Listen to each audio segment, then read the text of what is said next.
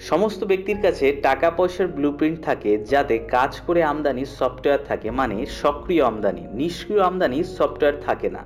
Rich ব্যক্তিরা দূরের ভাবেন আজকের আনন্দের খরচ থেকে কিছু বাঁচিয়ে তারা নিবেশ করেন কালকের স্বতন্ত্রতার জন্য।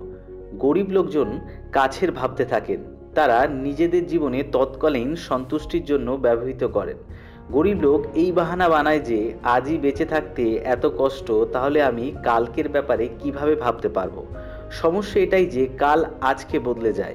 যদি আপনি আজকের সমস্যার প্রতি দৃষ্টিকোণ না দেন, তাহলে আপনি কালও একই কাজ করবেন।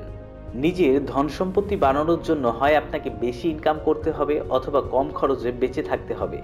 আমার মনে হয় না কেউ আপনার দিকে বন্দুক দেখিয়ে বলে, কোন বাড়িতে থাকবে, কোন গাড়ি চালাবে কোন ধরনের কাপড় পরবে অথবা কি খাবার খাবে?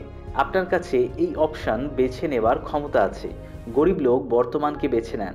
রিচ ব্যক্তিরা বর্তমান ও ভবিষ্যতের সন্তুলনের অপশান বাছেন। তৎকালীন সমস্যার সমাধানের জন্য জিনিস কেনা কোনো সঠিক প্রসেস নয়।